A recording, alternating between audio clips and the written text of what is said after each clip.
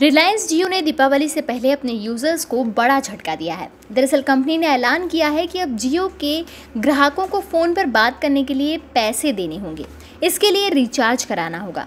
हालाँकि जियो से जियो के नेटवर्क पर कॉलिंग फ्री रहेगी, लेकिन दूसरे नेटवर्क पर कॉल करने के लिए छः पैसे प्रति मिनट के हिसाब से पैसे देना होंगे।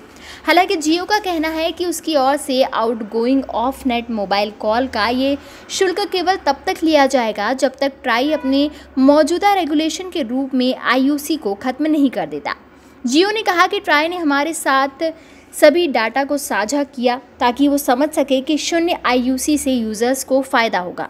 बताया जा रहा है कि पूरा मामला इंटरकनेक्ट यूज़र्स चार्ज से संबंधित है। आईयूसी ऐसी राशि है जो एक मोबाइल टेलीकॉम ऑपरेटर दूसरे को भुगतान करता है, यानी एक टेलीकॉम ऑपरेटर के ग्राहकों द्वारा दूसरे ऑपरेटर के ग्राहकों को आउटगोइंग मोबाइल कॉल की जाती है। तब कॉल करने वाले ऑपरेटरों को आईयूसी का भुगतान करना पड़ता है। दो अलग अलग नेटवर्क के बीच होने वाली ये call mobile off net call कहलाती है।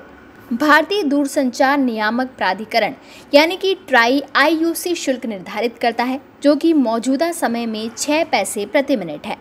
इधर जियो के अन्य नेटवर्क पर कॉल करने के लिए प्लान भी जारी कर दिए हैं, जो कि दस रुपये से लेकर सौ रुपये तक के हैं। दस रुपये वाले प्लान में 124 मिनट कॉलिंग की जा सकेगी, जबकि बीस रुपये वाले प्लान में दो मिनट, पचास रुपये वाले प्लान में छः सौ छप्पन मिनट और सौ रुपये वाले प्लान में एक हज़ार तीन सौ बासठ मिनट कॉल किए जा सकेंगे।